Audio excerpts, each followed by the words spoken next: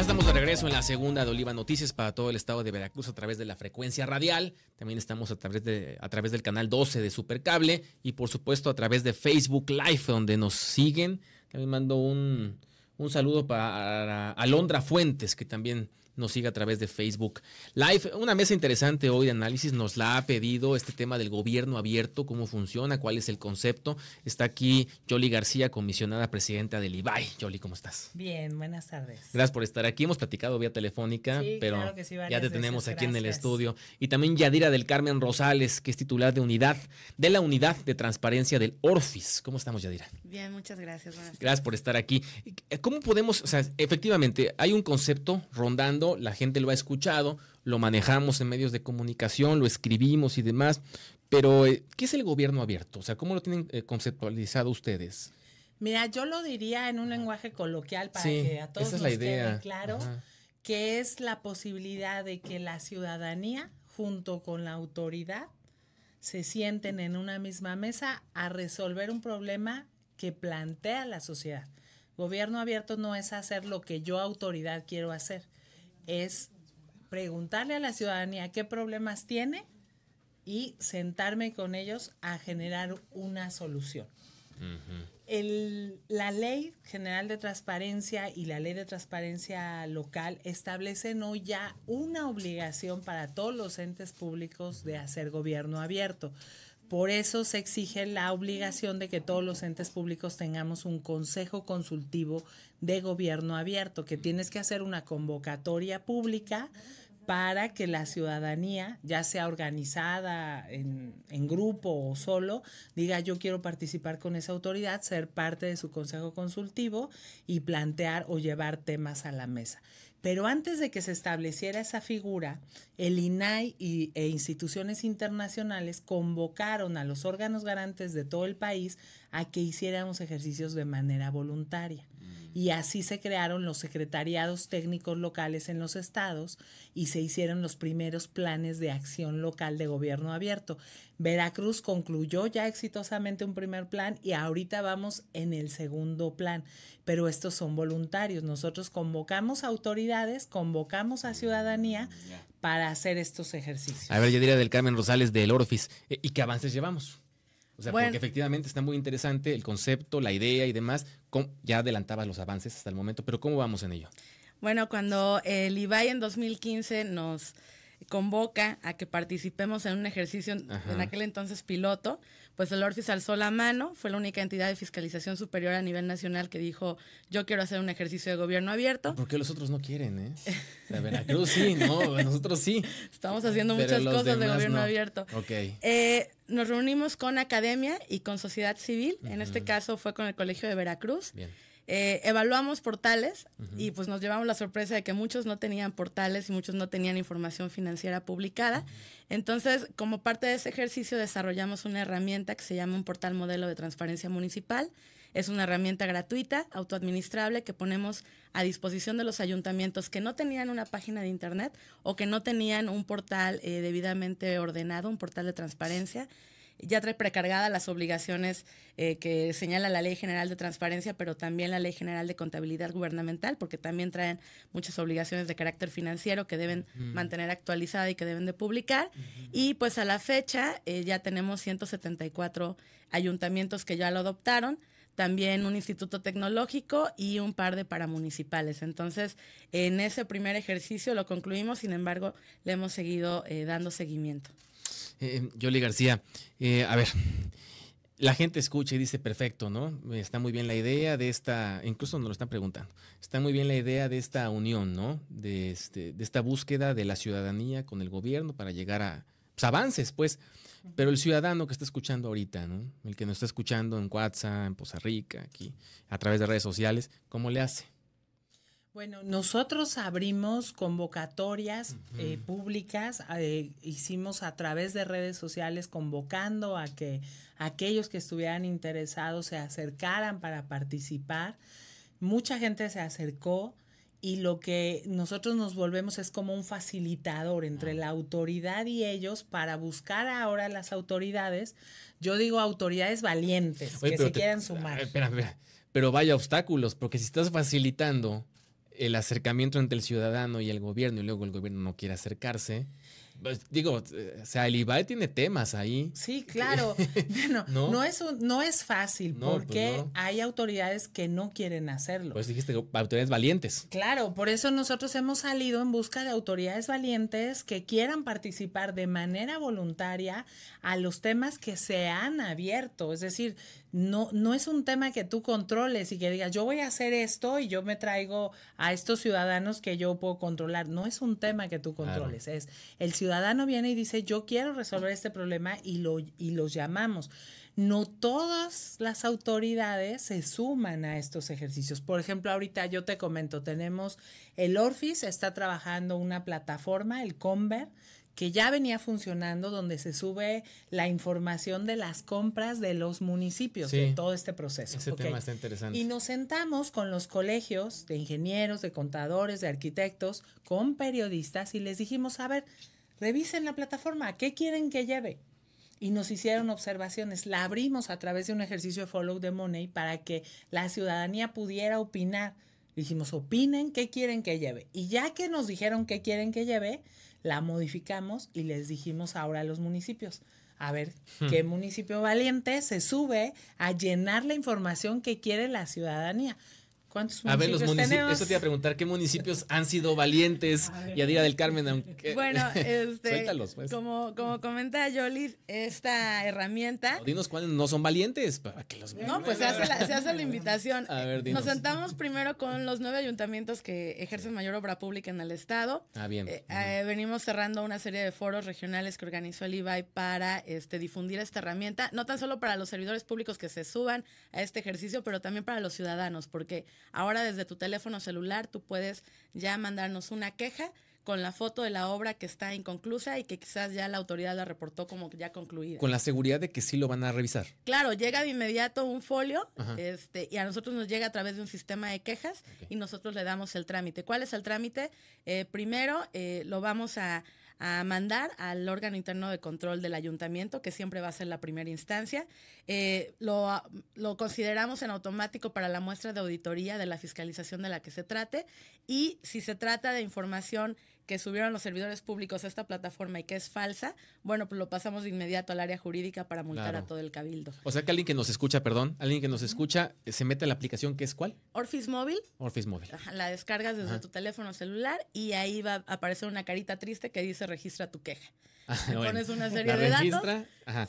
le regresan un folio a ustedes. Sí, en cuanto se le da a enviar, pueden mandar a través de ella una foto, un video, un documento, lo que estimen pertinente. Eh, se les asigna un número de folio que es con el, eh, con el folio con el que van a consultar en el sistema de ah. quejas del Orfis el seguimiento a, esa queja y pues se les dará la, la respuesta. Está muy bien, Jolie. Y no está interesante. todavía no hemos firmado el segundo plan. Entonces, este recorrido del que hablaba Yadira, que hemos hecho en la zona norte, en la zona sur y en el centro del estado, lo hemos estado haciendo para difundir entre los sujetos obligados, en este caso los municipios y los ciudadanos, para que conozcan la herramienta. Cuando cerremos, que será cuando firmemos ya el segundo plan, es cuando podremos hacer un corte para saber cuántos municipios la adoptaron de manera voluntaria.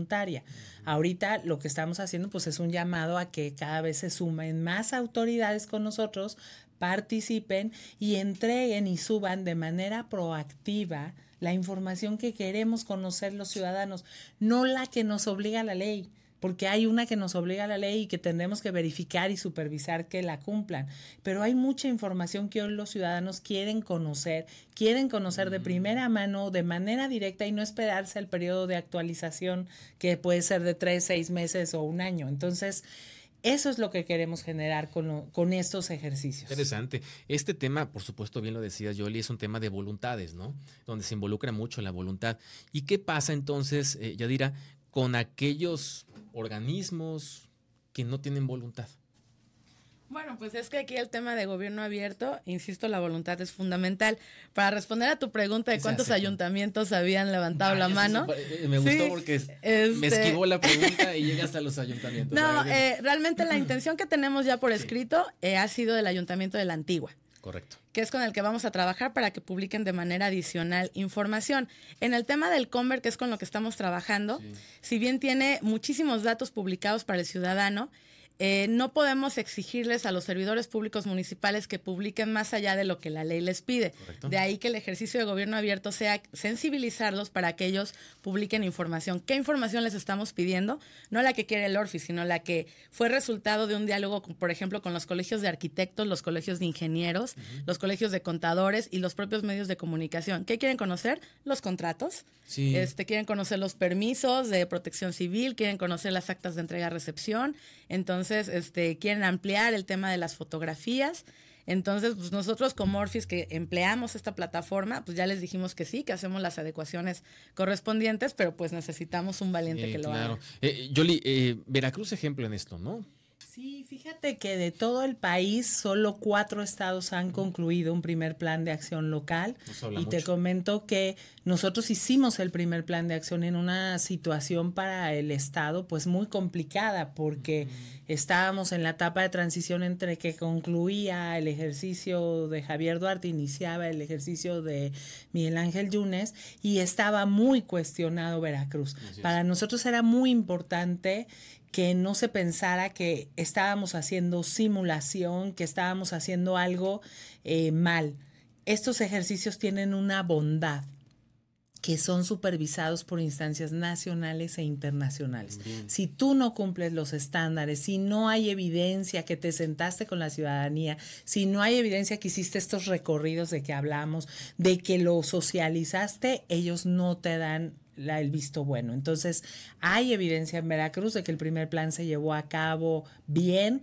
Fuimos el primer estado que hizo un ejercicio con el tema de desaparecidos y la verdad es que nos sentimos muy orgullosos de haberlo completado. Ahora queremos firmar este segundo plan y mantener a Veracruz a la vanguardia en temas de gobierno abierto.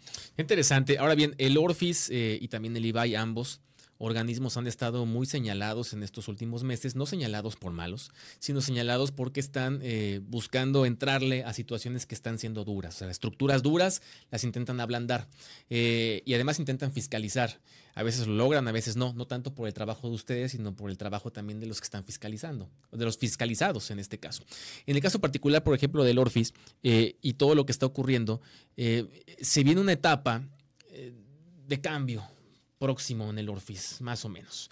Eh, el hecho de que haya cambios de titulares, si los hay o no, finalmente eso está de lado, eh, ¿este proceso continúa? Bueno. Eh, o, tiene que ver con la voluntad de un titular. Es preocupante, ¿no? Porque luego la voluntad, por ejemplo, de Lorenzo Antonio Portilla sería justamente estar metido en esto, ¿no? Pero que puedo luego llegar a otra persona sin saber si llega o no.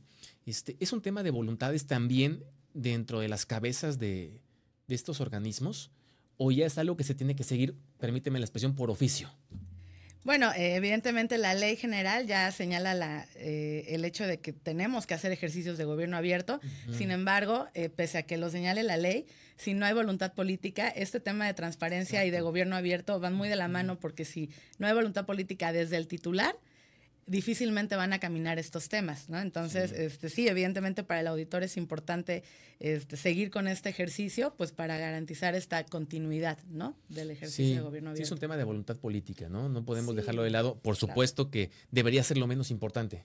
Nosotros hemos tenido grandes aliados, te puedo platicar, la rectora de la UB, por ejemplo, con ella hicimos una plataforma que se llama Prepárate, donde ella puso a disposición de la ciudadanía los resultados de los exámenes a la universidad, de los jóvenes que van de prepa a universidad desde el periodo pasado. ¿Cuál es el objetivo?